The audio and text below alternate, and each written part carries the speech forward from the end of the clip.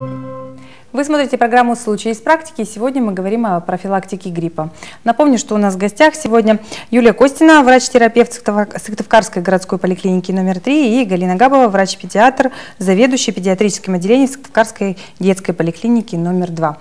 Ну, вот о профилактике так или иначе мы разговариваем, но все это не специфическая профилактика, а самой важной части такой профилактических средств, все врачи говорят, это вакцинация. Да.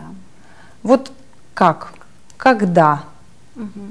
Вообще наиболее эффективной мерой защиты а, от гриппа и как бы мерой, позволяющей установить контроль над этим заболеванием, является вакцинация. Сейчас во всех поликлиниках города Сыктывкара, во всех учебных заведениях и детских дошкольно-образовательных учреждениях имеется вакцина Гриппол Плюс в достаточном количестве. Это для Это, детства да, Гриппол Плюс. Да. Я потом У нас про взрослых плюс. скажу. Да. Вакцина современная, субъединичная. Она не содержит никаких что такое субъединичная? Субъединичная, ну это такая очищенная, то есть совершенно угу. вакцина, которая содержит только поверхностные антигены в виде э, гемоглютинина и нейроминидазы и не содержит никаких других компонентов вир вируса. Она не живая, она не токсичная. А, и кроме того, в состав этой вакцины входит так э, называемый иммуностимулирующий препарат полиоксидоний. И поскольку я уже говорила, что иммунитет у детей недостаточно сформирован, особенно до 5 лет, вот, то этот э, препарат, этот полиоксидоний, помогает не только вырабатывать антитела против э, вируса гриппа, в том числе и респираторно-вирусных инфекций, вообще укрепляет его иммунитет, помогает ребенку просто не заболеть. Поэтому э, бояться ее не надо. Делается она 6-месячного возраста и не имеет ограничений по возрасту. Особенно пожилым людям надо да, делать. Да, вот про это я скажу. После 60 То есть вот лет. сейчас началась вакцинация. Ждем мы грипп примерно декабрь-январь, начало февраля. То есть пора уже прививаться сейчас, да. При поликлиниках создаются, если мы куда-то по детству все легче, ну, немного там школы, сады, это все организовано.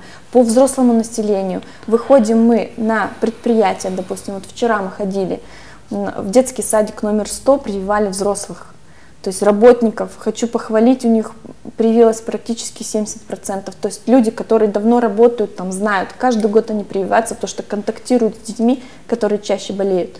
И люди, которые прививались и там в прошлом году, позапрошлом году. Они охотно пришли вчера на прививку, нас очень этим порадовали, спокойно, без всяких, а вот э, что это, что то. То есть люди уже знают. Угу. И вот вы выезжаете, да. а те, кто на предприятии не выезжает, ну небольшое да. предприятие, Допустим, кто хочет привиться, прививка совершенно бесплатно. Гриппол содержит так же, как Гриппол плюс, просто для взрослых. Кто хочет прийти, пожалуйста, бесплатно.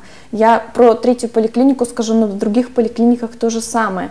Приходим на первый этаж, 117 кабинет. Там у нас фельдшер, который не обязательно стоять в регистратуре, брать стат-талон к участковому врачу, стоять там очередь на что хочет человек привиться. Пожалуйста, без очереди 117 кабинет.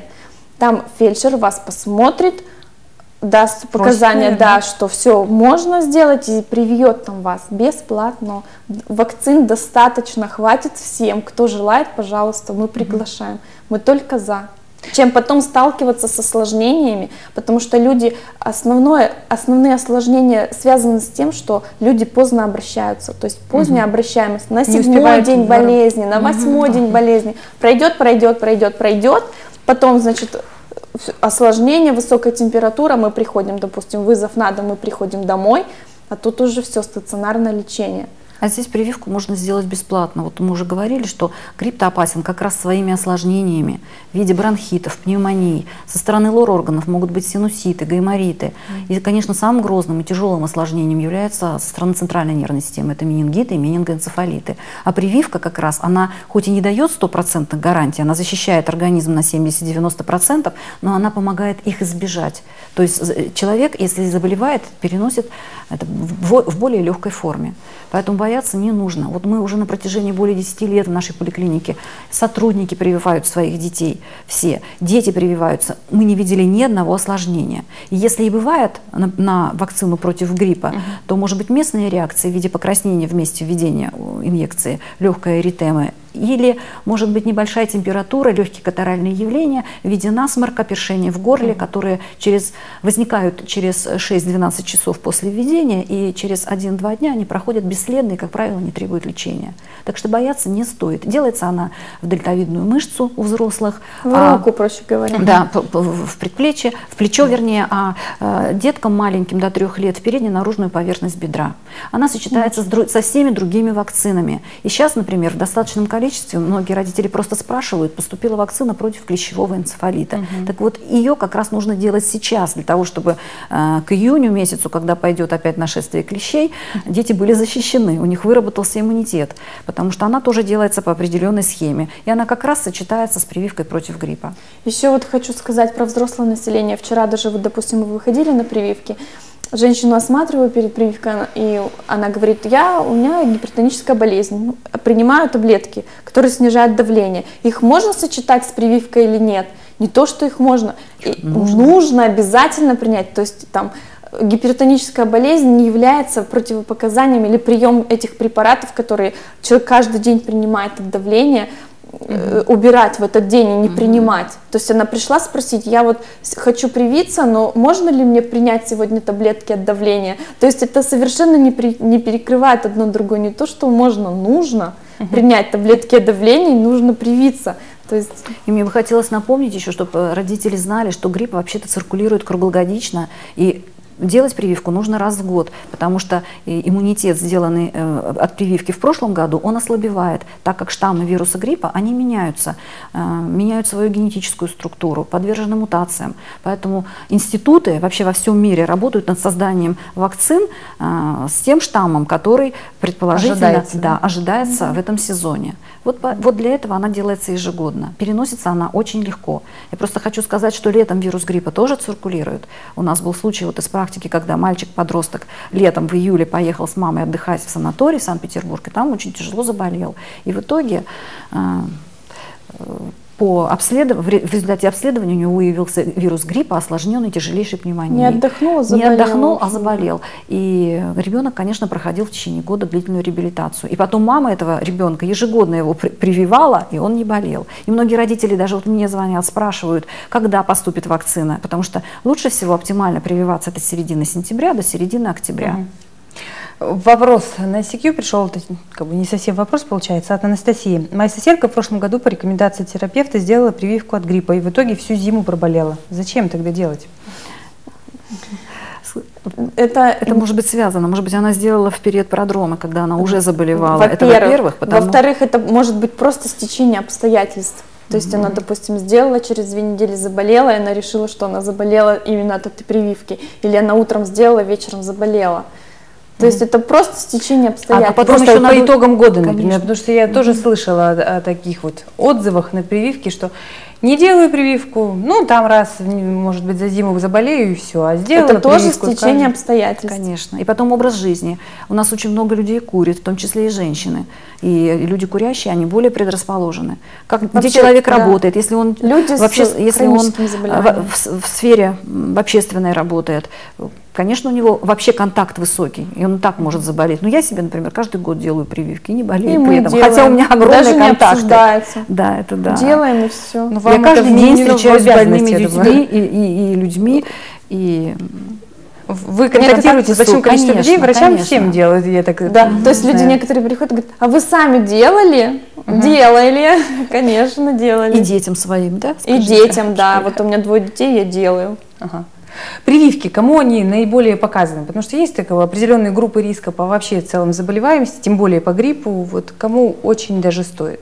Ну вот, как мы и говорим, это детский возраст и люди пожилого возраста, люди с хроническими заболеваниями, особенно бронхолегочной mm-hmm. системы, хронические бронхиты, хроническая обструктивная болезнь легких, длительные курильщики, mm-hmm. особенно еще люди из, так сказать, неблагоприятной социальной среды. Да, среды. Mm-hmm.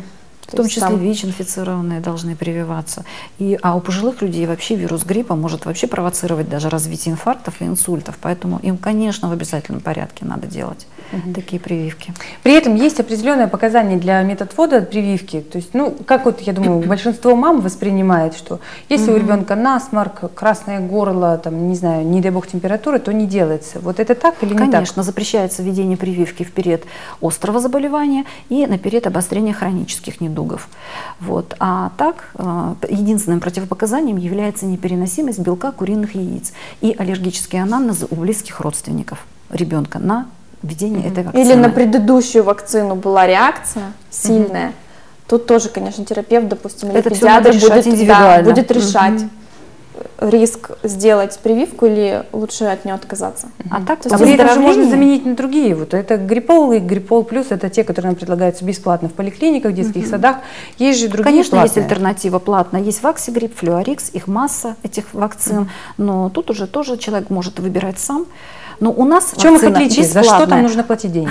Все они имеют примерно один спектр направленности, то есть при введении вакцины у человека вырабатываются антитела. Наша вакцина раньше была, допустим, назальная, она тяжело переносилась, была вакцина живая, вызывала, люди тяжело переносили, а сейчас она нисколько не отличается от импортных вакцин создана, разработана Институтом иммунологии, имеет а, абсолютно отличные характеристики по своим свойствам. Я уже ну, еще раз сказали, говорю, что не осложнений никаких. Не осложнений нет. Да. Поэтому То есть тех людей, кого мы прививаем, причем прививаются почему-то из года в год одни и те же люди.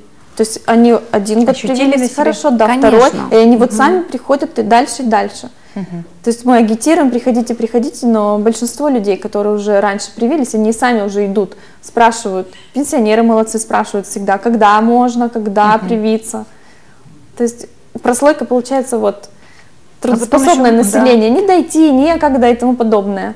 Хочется Помимо сказать, чтобы люди да. не забывали да. о здоровом образе жизни, то есть меньше бывать э, в скученных помещениях, да, в гипермаркеты угу. с детьми с малыми ходят, собирают там инфекцию, э, на улице мало были, угу. гуляют, вот, поэтому витамины надо принимать.